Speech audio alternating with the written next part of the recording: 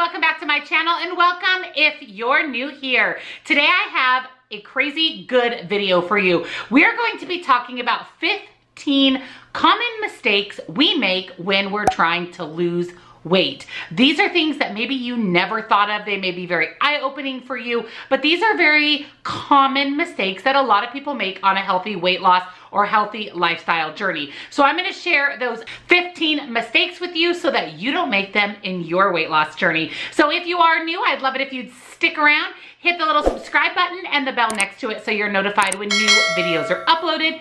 You don't wanna miss a single one. Thumbs up this video if you love all these tips and tricks and ways to make your weight loss journey a little bit more successful.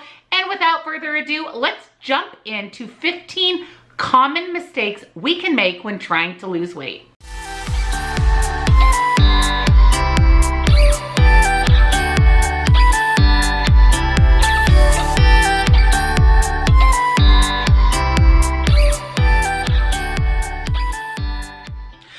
Weight is hard like really, really hard. Sometimes we do everything right and the scale just doesn't show us what we think is well deserved. Sometimes the scale isn't the be all end all. There are a lot of other things to look at when you're on a weight loss or a healthy lifestyle journey. Like how do your clothes fit? How are you feeling in your overall body in general? Are you noticing that you're fitter, stronger, and healthier? Sometimes those are the things that we really need to focus on. But I know as well as you do that the number on the scale is important. So I wanna share with you today some common mistakes that we make when we're trying to lose weight. Things that may make that scale not show the number that we feel like we have worked for and the number we feel like we deserve.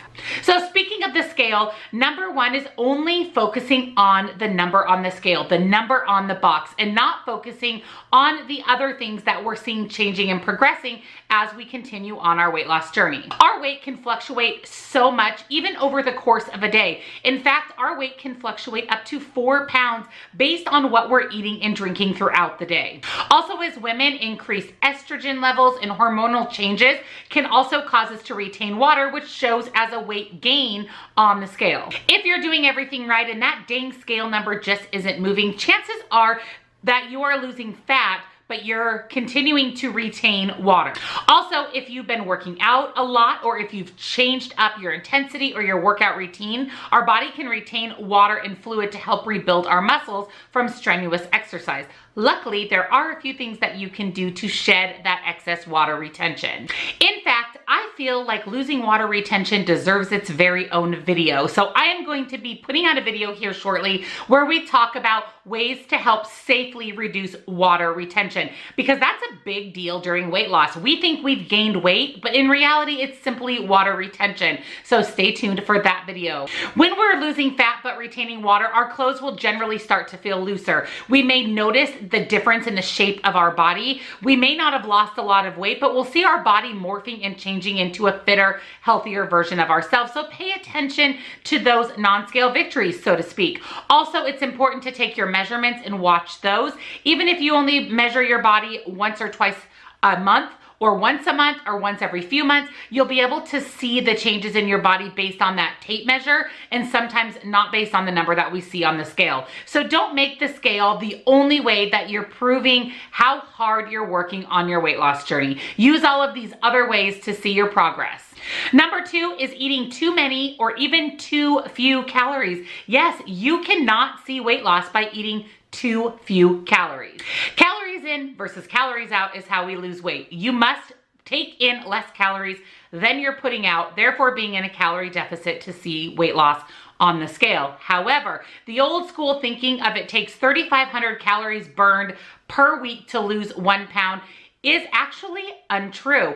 The number of calories it takes to burn pounds, thus losing weight, varies from person to person. It's based on muscle mass, how much fat we have, how much bone structure we have. There are a lot of variables that determine exactly how many calories we need to be in a deficit to see weight loss.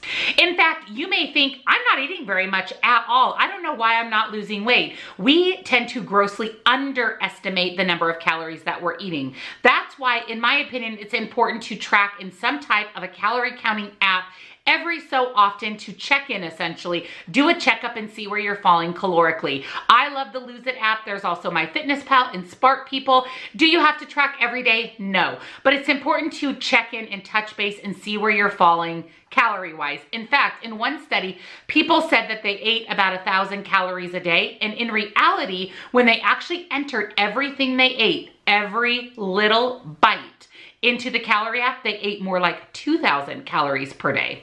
On the flip side, lowering your calories too much, say under 1,000 calories a day, can actually cause metabolic slowdown, which means it lowers your metabolism and actually can result in muscle loss. And we don't wanna lose muscle. We wanna maintain, if not gain muscle and lose fat. That's the whole reason we're on a healthy weight loss journey. So don't eat too little and don't eat too much and check in with yourself every once in a while with a calorie counting app. Number three is not exercising or in turn exercising a little bit too much. Inevitably, when we lose weight, we are bound to lose a little bit of muscle mass, even with regular exercise. However, it is important to get in some type of movement every single day for 20 to 30 minutes because it will help with the loss of muscle and increase the loss of fat. Exercising can minimize the lean muscle mass that you lose with restricting calories or going on a diet. It can also boost your metabolism and boost your fat loss. Therefore, you're going to lose weight more substantially. You're going to lose weight more consistently when you're incorporating some exercise. However, over-exercising can also cause some problems. Number one, over exercising isn't sustainable. Most people get this great idea that they're gonna exercise two to three hours a day to really lose this weight, but is that something that you can sustain long term? How about when you hit your goal weight? Are you still going to be able to, number one, fit into your schedule two to three hours of exercise, but want to do two to three hours of exercise? Also, over exercising can impair the production of adrenal hormones, which are stress hormones. So sometimes over exercising is just as bad as not exercising at all. It's all about balance, just like with food. It's all about moderation and balance. It's important to get an exercise to maintain your metabolism, firm up your body as you lose weight, but don't overindulge in the exercise. Don't commit to something that isn't sustainable, two to three hours a day. And don't allow over exercising to have negative effects on your body. Just move your body a little bit every day and that will help with your weight loss. Number four is not lifting weights, not incorporating strength training. Yes, cardio is important. Yes, you're going to burn more calories faster with cardio. But when you stop your cardio exercise, your body quickly stops burning calories and fat. However, if you incorporate strength training and you build muscle, we're not talking bodybuilding, we're just talking lean muscle mass. Your body will continue to burn calories a lot longer past ending your workout, which basically means that you can eat more calories in a day and still lose weight or maintain your weight. Studies show that strength training or lifting weights, and these can even be light weights, three, five, eight pound weights, are great for gaining muscle and increasing your metabolic rate. And it also reshapes and firms up your body, causing you to look leaner with less weight loss. The best combination of exercise for weight loss is incorporating both cardio and strength training. That is one thing I love about going to Jazzercise is it's everything in one. It's stretching, it's cardio, it's strength training, all wrapped up into a glorious hour of dancing and I leave with a killer workout every time. So don't just focus on cardio and don't just focus on lifting weights. Try to have a balance of both. Now don't come for me for number five. This is actually a proven fact through several, several science studies. And number five is choosing low fat or diet foods. We think that choosing low fat or fat free or reduced fat or sugar options are the healthier options, right? They're less calories, they're less smart points, but in reality, most of these foods have added sugar or sugar alcohols to make them taste good. When you take out fat or when you take out sugar, you have to add something back back in to make them actually taste good and actually be something that people want to eat and consume. For example, one cup of reduced fat or low fat fruit flavored yogurt can contain 47, 47 whopping grams of sugar. That is almost 12 teaspoons of sugar in one low fat yogurt. Now, if you choose a full fat option of that same yogurt, you can pick them up for six or eight grams of sugar, much more added protein, and full fat dairy, for example, is much better for you because all of the nutrients aren't lost in making it a low fat or a fat free version. Rather than keeping you full, highly processed, low fat diet foods generally do the exact opposite. They make you hungry and cravey. You want to crave more of those low fat fat-free foods because they're not real whole foods that satisfy you and tell your stomach, which signals your brain that you're full. So instead, choose minimally processed or whole real food. You're going to feel a lot more satisfied and full. Your body knows what to do with those foods and you should see even a better weight loss and just overall feeling a lot healthier and stronger and satisfied throughout the day. Number six is another one that I know I've done, I think we all do, and that's overestimating the number of calories that you're burning when you're working out. Yes, when you're working out, it helps boost your metabolism. It helps your body shed weight, build lean muscle, become stronger and fitter. But we always, generally, say always overestimate the number of calories we're actually burning from our workout. Those machines that you use at the gym, the treadmill, the elliptical, those grossly, even if you enter your height, weight, and age, grossly overestimate the number of calories that you're burning. Even things like fitness trackers can do that exact same thing. In fact, in one study, people were asked, how many calories do you think you burn during your workout? And the common answer was seven to 800 calories. When in reality, that same group of people burned two to 300 calories during their workout. Therefore, they felt that they could eat more because they burned seven or 800 calories, when in reality, it's only two or 300. And that's very easy to eat and immediately erase all of the activity that you did. So it's important to exercise, but it's important not to add back in your exercise in the form of calories and food. Do your exercise to feel better, stronger, leaner, and healthier, and don't add back in whatever calories you burn to eat throughout the day.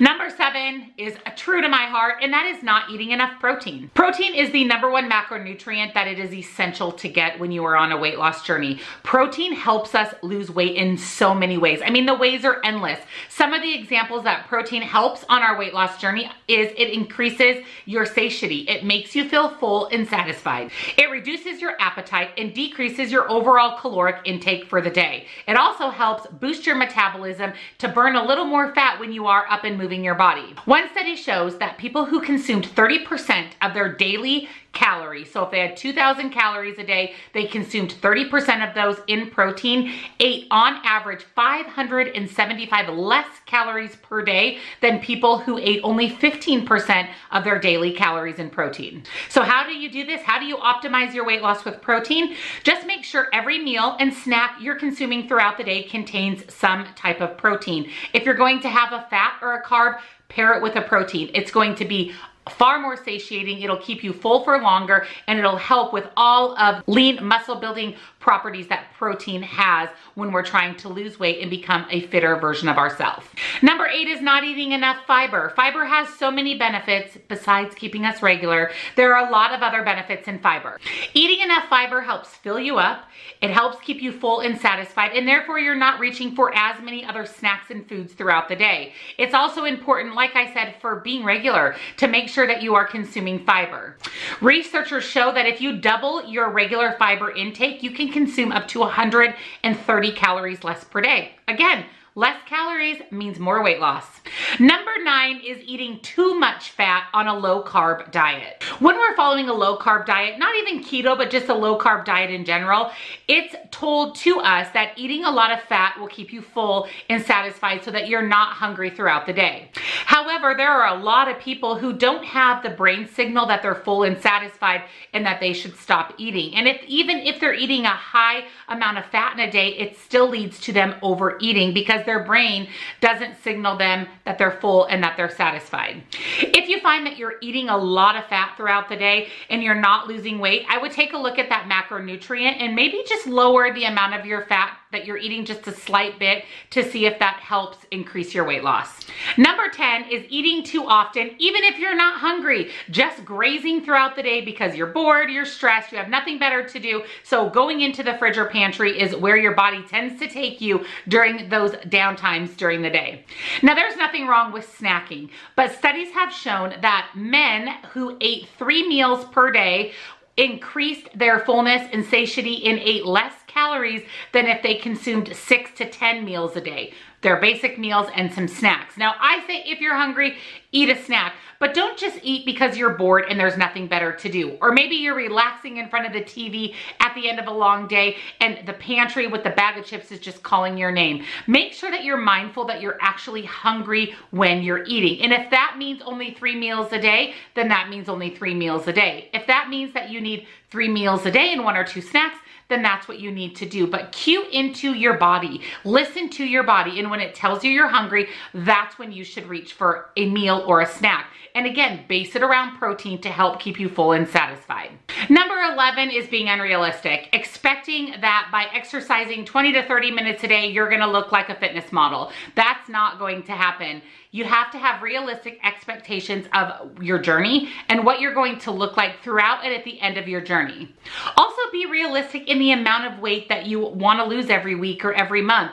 Studies show that when visiting diet centers, that obese women expecting to lose a lot of weight every month, when they didn't see that happen, they would drop out of the program after six to 12 months, never reaching their goal and never really seeing the weight loss that they thought they would because it was unrealistic. So be realistic when you're setting goals. Be realistic with the weight loss that you're expecting to see on the scale every week or every month or however often that you weigh in. And maybe not even focusing on the scale and focusing on the other things that change as you lose weight and become fitter and healthier. Number 12 is not tracking in any way, shape, or form. Some of us aren't the best trackers and some people have zero desire to track their food at all, but it's important to track every so often if you're not a daily tracker to touch base and check in and see where you are with calories in versus calories out. How much protein are you eating? Are you eating enough? How much fiber? How much carbs, fat? sugars. It's really hard to get an accurate picture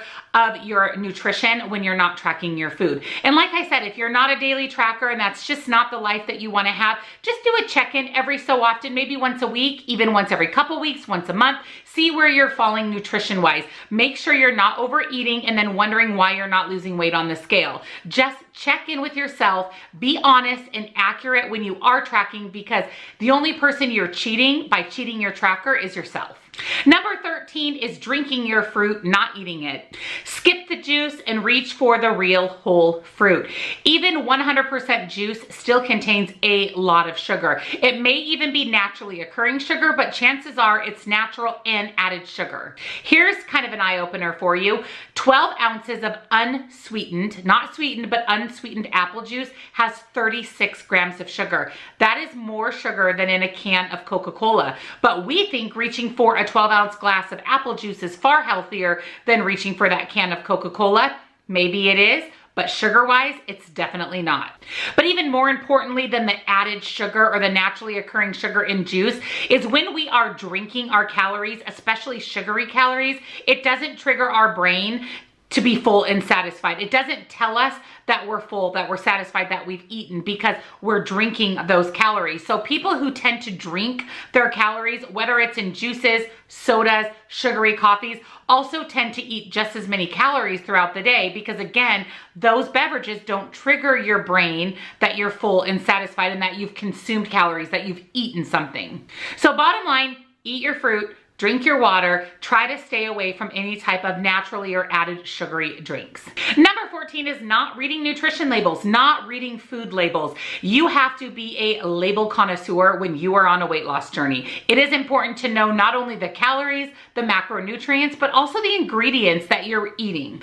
For example, there are so many foods with healthy sounding titles on the front of the package. Non-GMO, whole wheat, whole grain. But when you flip that over, the first or second ingredient is sugar, corn syrup, enriched flour, wheat flour, all ingredients and things that you don't want to put into your body. So skip focusing on what the packaging says and the marketing says and spend some time reading not only the nutrition label to see the calories and macronutrients, but taking a good hard look at the ingredient label and whatever ingredients you don't want to put in your body, make sure that those aren't listed on the food label of the foods that you're consuming. And number 15 is not eating whole single ingredient foods single ingredient foods. One of the worst things you can do for weight loss is eat a lot of highly processed foods. Scientists say that eating a lot of processed foods or processed foods in general are one of the leading causes of the epidemic of obesity in this country.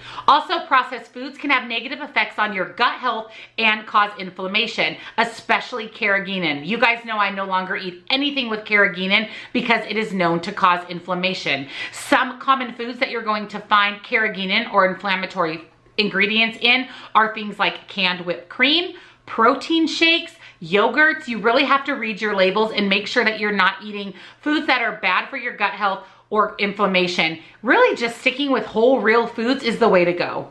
So the bottom line with the processed foods is whenever possible, try to choose whole real food, one ingredient foods, foods that you can pick out of a garden or foods that are harvested as a crop. Now I know that sometimes processed foods come into our lives for convenience the bottom line is just sticking with a diet that is rich with real food and then whenever you need to sprinkle in a processed food here and there, then go ahead and do that. Just try to stay away from a diet that is comprised mostly of processed foods. So that is it, my friends. 15 common mistakes we make when we're trying to lose weight. I really liked these. These really were big eye openers for me. They were mistakes that I make regularly that in fact I still make today. So I really enjoy doing the research for this video. I will go ahead and link down below where I got this information from. Of course, for you guys, if you wanted to go read the whole article article on these tips and tricks. Again, if you're new, make sure that you are subscribed and your bell is turned on so you can join the amazing community that I have over here on YouTube. I love you guys so much. It is such a great place to be. And I do upload most days of the week. So by turning on your bell, you'll just be notified when those videos go live here on YouTube. Thumbs up this video if these tips and tricks really, really helped you out. And of course, leave your comments down below. Any questions that you have, maybe you have some other tips and tricks or common mistakes that you've made that have been reasons why you haven't lost weight. Please share those down in the comments so that we can help out the community. Thank you guys again so much for spending some time with me today. I hope this video helped you out as always, and I'll see you next time.